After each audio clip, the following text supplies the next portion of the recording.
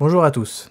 Alors suite à mon épisode de podcast en solo numéro 2 où euh, je vous expliquais comment, euh, enfin pourquoi est-ce que votre code source devait être sécurisé, euh, on m'a posé la question finalement de comment migrer de GitHub à GitLab. Puisque je vous le rappelle en fait, l'objet du, podcast c'était de vous expliquer qu'en fait même, même votre code source, y compris sur les dépôts privés de GitHub ou de GitLab, était soumis au Cloud Act, donc du coup pouvait être récupéré. Et la question qu'on se pose, euh, si on a sa propre instance euh, GitLab ou si on veut euh, quitter par exemple GitHub parce qu'on trouve que GitLab est plus efficace, en tout cas améliore la productivité, c'est mon cas. Moi, je pense que GitLab améliore la productivité du développement par rapport à GitHub, puisqu'il y a toute une intégration dans le workflow de développement qui n'est pas présent dans GitHub. L'intérêt, en fait, de passer à GitLab, c'est c'est finalement d'améliorer son workflow de développement et de ne pas être sur un logiciel propriétaire, puisque je vous rappelle que euh, GitHub, euh, avant même euh, avoir été racheté par Microsoft, était un hébergeur de sources propriétaire. C'est-à-dire qu'on n'avait pas le code source de GitHub. GitHub promeut en effet l'open source et le logiciel libre, mais au travers d'un logiciel qui est lui-même closed source, qui est privatif. Donc l'intérêt, c'est aussi de passer à une solution qui est euh, éthiquement, en tout cas pour des gens comme moi, qui est éthiquement plus, adaptée, puisque euh, finalement le code source, il est ouvert et on peut le lire. L'intérêt aussi, c'est que là je suis sur euh, gitlab.com, on voit que donc GitLab, on peut utiliser gitlab.com comme hébergeur de source. on a notamment une version gratuite et c'est elle que je vais vous présenter. Mais on peut aussi installer GitLab sur nos propres serveurs. Si vraiment on veut être autonome, on peut l'installer sur nos propres serveurs. Et pareil, on a une version Core, dit euh, Open Source Core ou Open Core, puisque GitLab se base sur un modèle Open Core, où toute la base, toute la base en fait, tout le corps du logiciel est libre. Par contre, euh, tout ce qui est soumis à licence, comme les licences Starter, Premium et Ultimate, euh, c'est du code qui est open source, on peut le voir, puisque on peut voir en effet ici, on a le dépôt GitLab qui est même lui-même hébergé sur gitlab.com qui peut être lu. Et on a la version Enterprise Edition. On peut voir le code source. Même s'il est soumis à licence, on peut le voir au code source. On peut même voir la licence. En fait, euh, la licence dit bien que tout le contenu qui est dans Enterprise Edition a une licence particulière. Bon, on peut quand même voir le, code, on peut voir ce qui se passe. Euh, donc on n'est pas non plus pris au dépourvu avec un logiciel totalement propriétaire, même si on veut passer sur les versions à licence. Alors GitLab, en plus d'être open source, euh, a une philosophie euh, vraiment très transparente, puisque bah, déjà ils expliquent tout ce qu'ils font, ils ont ce qu'ils appellent un handbook qui est toute leur documentation de comment ils gèrent leur entreprise, qui est disponible et qui est en open source, et d'ailleurs l'intégralité de leur site, y compris leurs articles de blog, sont open source et j'irai même plus loin, puisque quand on va à la fin de tous les articles, on voit qu'en fait tout est en Creative Commons. Ce qui fait qu'en fait tout peut être euh, réutilisé si tant est qu'on respecte la licence Creative Commons by SA. Et aussi on peut voir l'intégralité des sources de tout le blog.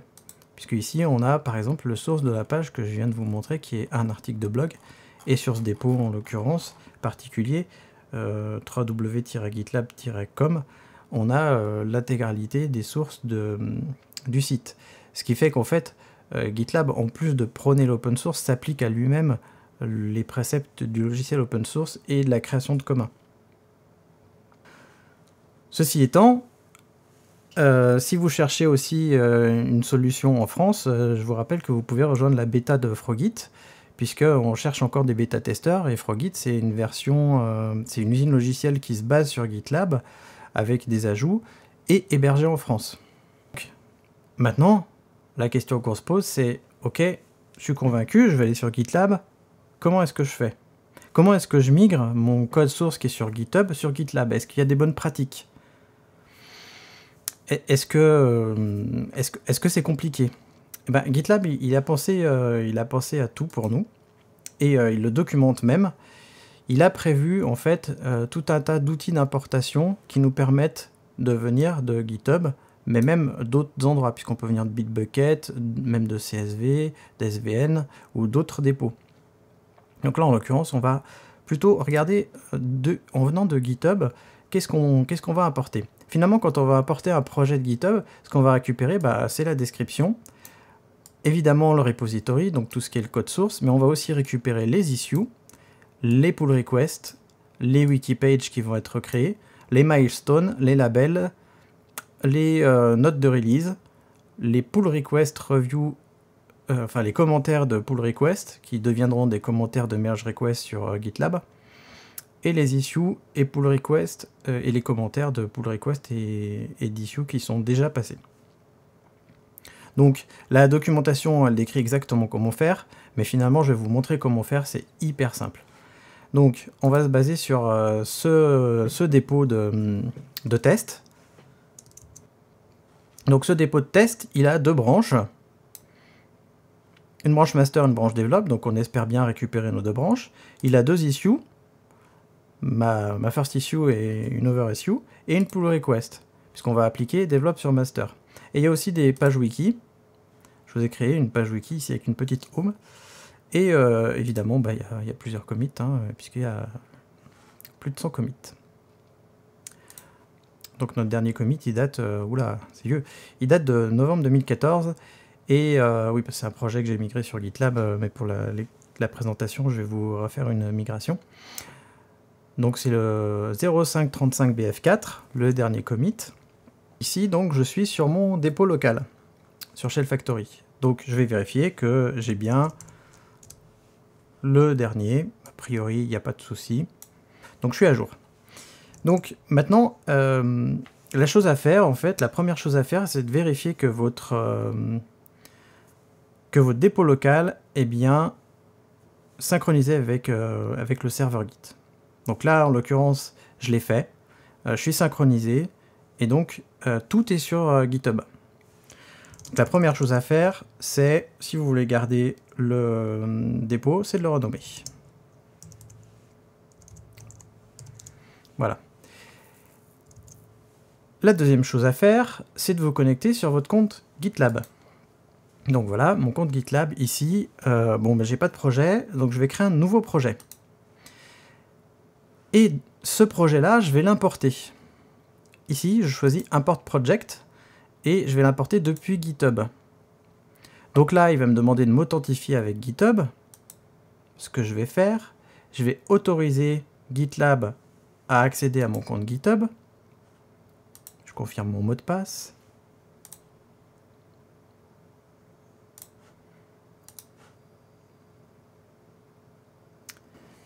Donc là, GitLab va aller chercher tous les dépôts que vous, allez, que vous avez sur GitHub et il va vous proposer de les importer. Donc là, j'en ai qu'un, en l'occurrence, c'est Shell Factory, que je vais importer.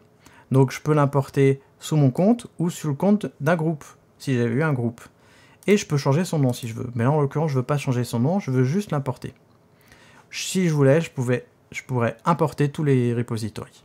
Mais là, je vais importer juste un seul repository. Donc je, je fais tout ce que. Je sélectionne tout ce qui est bon et je l'importe.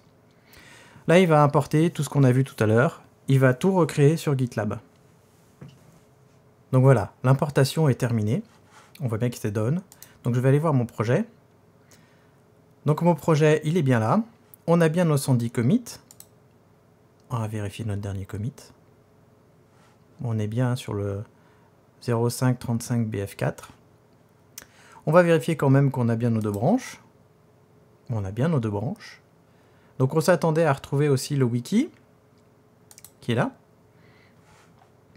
Donc a priori, on a bien notre wiki, on a bien notre home. Donc là, il n'y a pas de souci. On s'attendait aussi à retrouver notre euh, merge request, enfin notre pull request qui chez GitLab s'appelle une merge request. On a bien develop on master. Donc on a bien tout retrouvé. Une fois qu'on a migré, c'est hyper simple. Ce que je vous conseille de faire, c'est de recloner le dépôt que vous venez de migrer, tout simplement. Et vous allez tout avoir au local.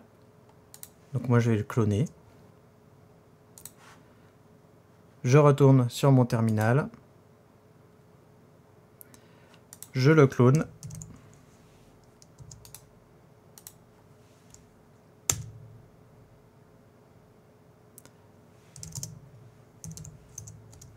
Et là, je devrais avoir tout retrouvé. Exact, j'ai tout. Donc, voilà. Voilà comment on a migré un dépôt de GitHub vers GitLab. Je vous retrouverai à bientôt pour un nouveau tuto. Si vous voulez que je vais lancer une série, je vais lancer une série de tutos sur euh, GitLab. Donc si vous voulez que j'aborde un des sujets particuliers euh, de GitLab, bah dites-le moi sur euh, question.compagnon-devops.fr et vous pouvez me suggérer un sujet que je traiterai. Et si, euh, GitLab vous intéresse, bah, vous pouvez rejoindre la future communauté de Frogit qui, euh, qui sera en fait dédiée à Git et GitLab, euh, puisqu'on aura un, salon de discussion et un wiki qui seront dédiés à ces deux outils. Et bien je vous dis à bientôt dans une nouvelle vidéo.